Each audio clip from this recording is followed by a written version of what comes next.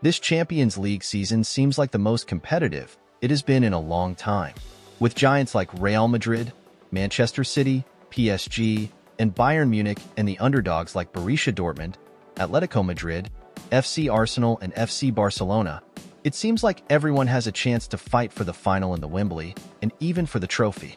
Also, the Champions League draw gave us the best chances to see an underdog in the final, with Real, Man City, Arsenal, and Bayern fighting for one place in the final and Barca, Dortmund, PSG, and Atletico fighting for the other place in the final.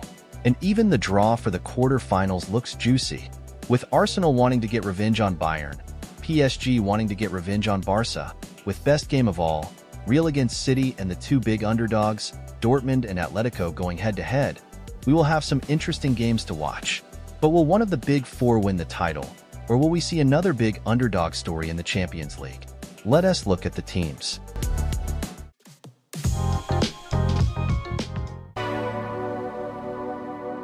With Borussia Dortmund, we have the smallest club in terms of success, but one of the biggest in terms of popularity. The last time Dortmund reached the final was in 2013, where they lost against Bayern Munich, also in the Wembley Stadium. Right now, they are sitting in fourth in the Bundesliga, with a big margin to third place Stuttgart and a 20 points gap to the leader Bayer Leverkusen. With coach Edin Terzić, they are having a roller coaster of a season.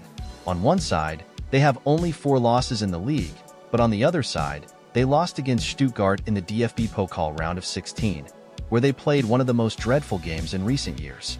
But in the Champions League, they seem to perform really well, finishing first in the group of death, in front of PSG, AC Milan, and Newcastle, and beating PSV in the round of 16, who are still unbeaten in Eredivisie, they show that in big games, they are ready to perform. But still, Dortmund will need a miracle to win their first Champions League title since 1997. Their opponents Atletico Madrid, with coach Diego Simeone, are also keen to reach the first final since 2016. Their last duel against Borussia Dortmund was in 2018, where they met in the group stages. They lost in the first game 4-0 and won in the second one with 2-0, so it is safe to say that we will have an equal matchup. Right now, Atletico sits fifth in La Liga, one point behind Athletic Bilbao. Against them, they also lost in the Copa del Rey semi-final with 1-0, but in the Champions League, they seem to perform extremely well, finishing first in the group, in front of Lazio, Feyenoord, and Celtic. In the round of 16, they defeated reigning Serie A champion Inter Milan, who were in the Champions League final last year. Atletico probably has a slightly better chance to get further into the competition. Manchester City is the favorite for the title. Pep's team sits currently in third position in the Premier League, just one point behind Arsenal and Liverpool. I made a video about the title fight in the Premier League this season and why it is the best one for a long time. Go check that one out to see why.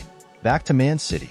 They already won the Champions League last season, and they will try to continue their success streak.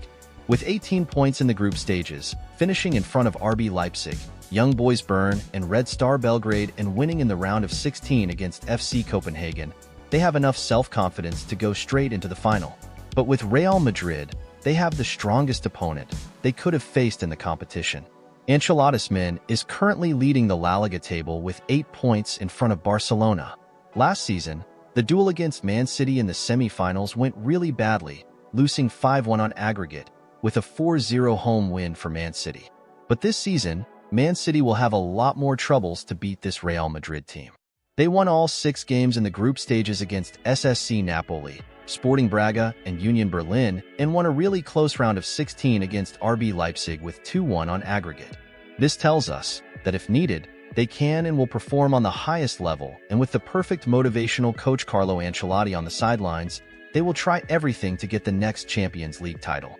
But with either Bayern Munich or Arsenal as their semi-final opponent, they need to improve because both teams are on an upward spiral. And currently, Arsenal are the team to beat for Bayern. In the past, these matches were really one-sided, with Bayern winning all of the last three games 5-1. But this time, with Arteta's men standing in first place in the Premier League and being first in the group stages against the likes of PSV Eindhoven, RC Lens, and FC Sevilla, they are keen to show better results than in the past years.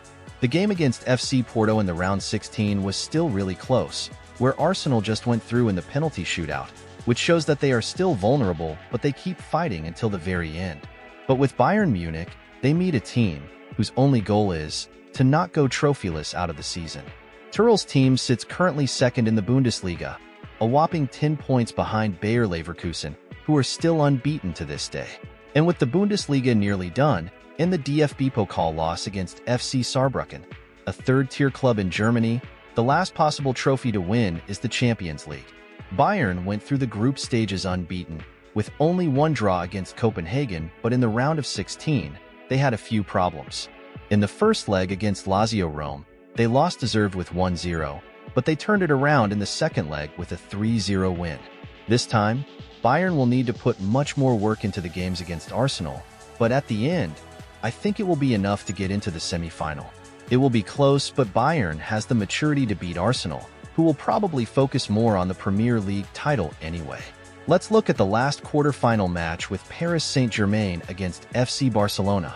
We cannot forget the unbelievable comeback from Barca in 2017, who lost 4-0 in Paris, just for them to come back in the Camp Nou with a 6-1 win and a 6-5 win on aggregate. With Xavi's men, we have the third La Liga club in the competition. Barca also finished first in the group stages, level on points with FC Porto. In the round of 16, they kicked out SSC Napoli 4-2 on aggregate. In La Liga, Barca sits second, 8 points behind Real Madrid, which means that the only realistic title win this year is the Champions League and with Xavi last year at the club, they will try to end their relationship as good as possible. With PSG, we have only one club from France still competing for the title. PSG is also first in the Liga, 12 points in front of second place Stade Brest. Enrique's team is also the only club still left, who only finished second in their group, one point behind Borussia Dortmund, which they could face again in the semifinals.